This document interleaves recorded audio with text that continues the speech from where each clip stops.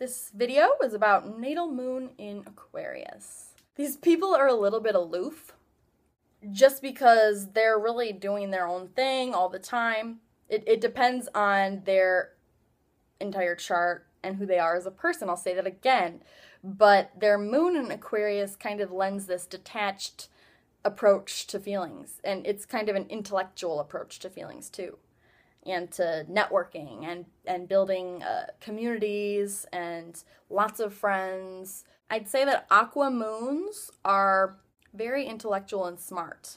They're smart about their feelings. You can use your moon when it's in Aquarius to help connect humanity together to reach an ideal or a cause, which Aquarius is all about that. I mean, Aquarius is bringing the water to the people. When your moon is in Aquarius, your feelings are nurtured when you nurture humanity, if that makes any sense.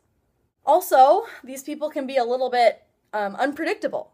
You know, Aquarius is ruled by Uranus, which is, it has a lot of unforeseen things that happen right away and very spontaneous and epiphanies will probably come to you often very ingenious epiphanies even uh, very technological too you probably understand technology or or if you don't you probably use it a lot maybe using technology to benefit humanity these people are really futuristic they really could give a shit less about the established norms in society which is great because I think that those norms are really crumbling down at this time in history because of the Pluto and Capricorn squaring Uranus and Aries.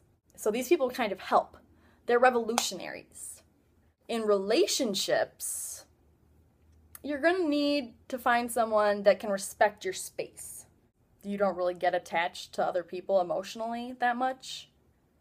Or if you do, it's very controllable because you might have a lot of other planets elsewhere in your chart or or different things in your chart that do make you really crave a deep connection with one person. Like for instance, if you're a Cancer with your moon in Aquarius. One of my friends actually has that placement. And she's really really really funny. So, maybe having your moon in Aquarius makes you funny too. She's found a partner who really complements her life. She's a total weirdo. I mean, she's total weirdo. That's another thing about um, Aqua. They're weird. And that's why I love you guys. Sorry, I'm trying not to swear so much. What else is there about you natal moon in Aquarius people? Can be political oriented. If not, then I'm sure that there's something that you feel strongly about. Some cause that you want to forward based on an intention to help better humanity and push it forward into the future, future oriented. These people might be aliens. Are you an alien?